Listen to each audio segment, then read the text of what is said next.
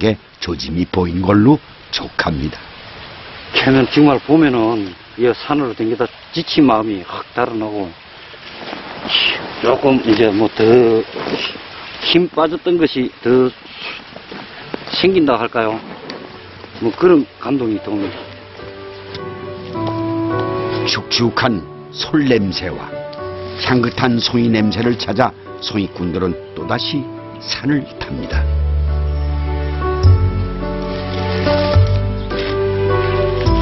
모든 식재료가 그렇듯 채취하는 이들의 노고가 있어 더욱 귀하고 값진 것이 아닐까요?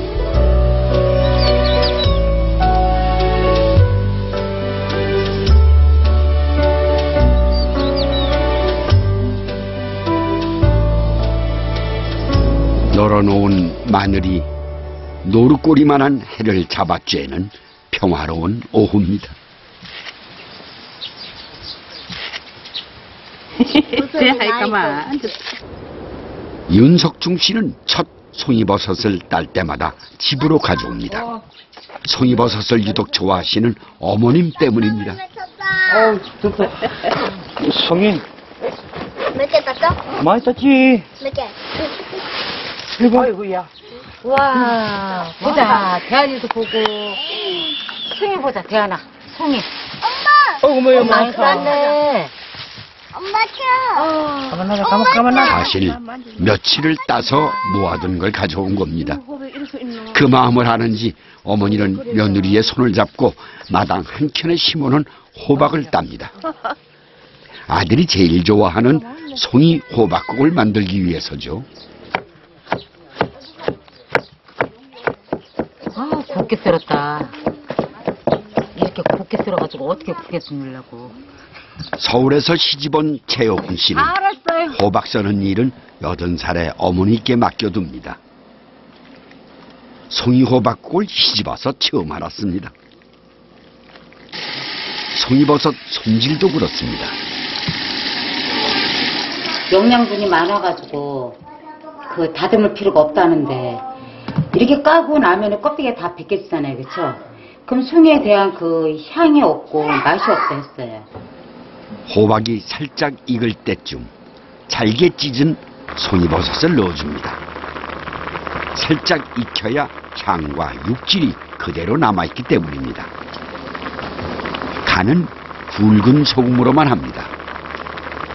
그렇죠. 시어머니한테 배웠거든요. 배웠는데 그 호박하고 송이가 잘 맞아요. 잘 맞고 다른 조미료가 들어가지가 않아요. 굵은 소금만 그냥 뿌려가지고 드시면 시원하고 개운하고 노모가 썬 호박에 며느리가 끓여낸 송이 호박국입니다.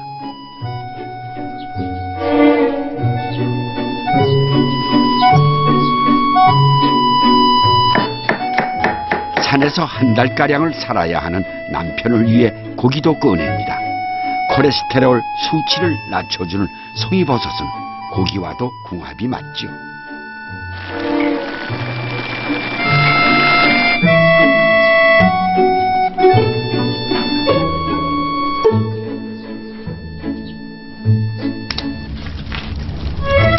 마당 한켠 아궁이는 어머니의 부엌입니다. 특별한 때에 어머니는 늘 이곳에서 밥을 하십니다. 그래서 며느리도 함부로 끼어들지 못하죠.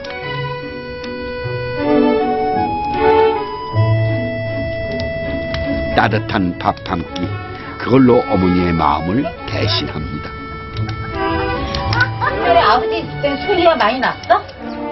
정리 후에 예전에 아버지 살았을 때는 송이가 많이 났냐고 그때도 많이 넣었지. 어 그때도 많이 넣었지. 그래갖고 아버지가 많이 싸웠어?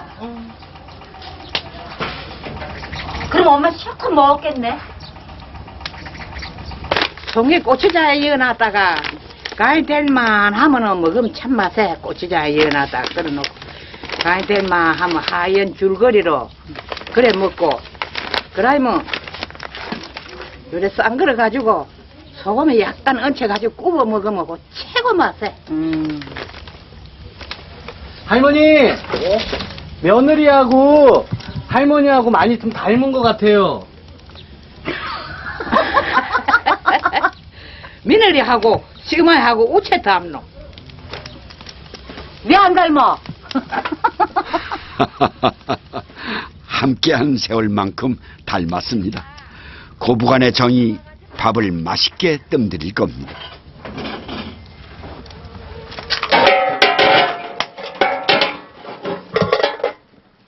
밥에 송이버섯을 넣고 소단에 김으로 살짝만 익혀주면 밥 전체에 송이향이 배어납니다.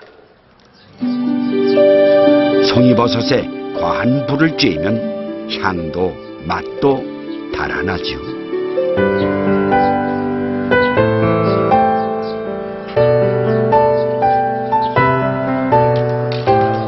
윤석중 씨의 동네 친구들도 밥상 위에 수저를 보탭니다. 우리가 흔히 함께 먹으니 더 맛있다 하는 것은 모든 음식의 마지막 간이 함께하는 사람들이기 때문이 아닐까요?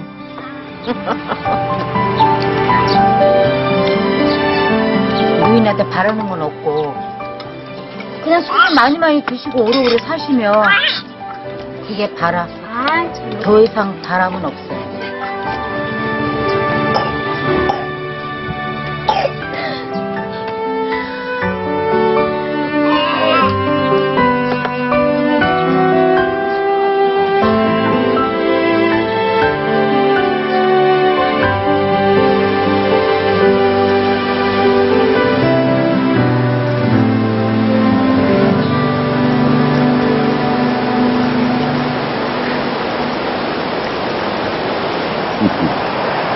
이, 이 풍광을 좀 보십시오. 절경은 혼자서도 외롭지 않다는 어느 시인의 말이 떠오릅니다. 그러니까 인위적으로 만드는 것과는 비교할 수 없는 그런 장대한 아주 위험입니다. 자연을 키워내는 것도 아마 그런 것 같습니다. 중국에서는 불로장생의 영향으로 아주 귀한 대접을 받았다는 그런 버섯도 있었다는 겁니다. 전 세계에 자생하는 버섯만 해도 그 종류가 만 사천여 종이 됩니다. 그 중에서도 일본인은 항암 효과가 뛰어난 영지를 좋아합니다. 중국은 삼황버섯이 유명하죠. 러시아는 자작나무에 기생하는 차가버섯이 대표적입니다. 프랑스는 세계 3대 진미 중의 하나인 송로버섯을 최고로 칩니다.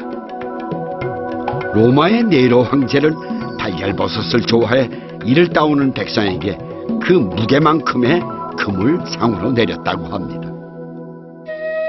그렇다면 우리나라에서 버섯을 처음 먹기 시작한 것은 언제부터일까요? 삼국사기에 버섯이 첫 등장을 합니다. 금지와 서지라는 이름으로 나타나는데요. 표고버섯과 같이 나무에서 나는 버섯을 금지,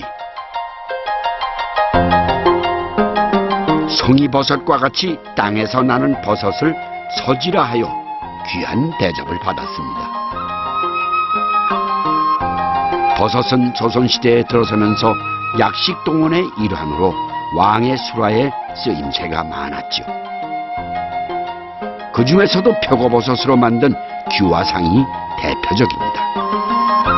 규화상은 일종의 만두 같은 거죠. 잘게 다진 표고와 채소, 두부를 넣고 규화상을 만들어 진상하는 데에는 그만한 이유가 있습니다. 버섯을 이용한 만두 같은 간단한 음식을 해서 드심으로써 소화도 돕고 그리고 몸의 건강도 돌보는 일거양득의 효과를 보셨습니다. 특히 조선의 5대 왕인 문종은 종기를 심하게 알았던 왕으로 기록되어져 있는데요.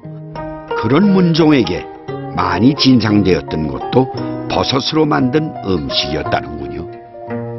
어이들이 예, 이렇게 이제 항상 진상을 하는 음식 중에는 버섯탕이 있었는데 이 버섯은 오래 끓일수록 해독작용이 강한 그런 성질이 있어서 예, 문종인군에게 버섯탕이 자주 진상되었던 것으로 보입니다. 허준의 동의보감에도 버섯의 종류만큼이나 다양한 쓰임새로 기록되어져 있을 만큼 오랜 세월 버섯은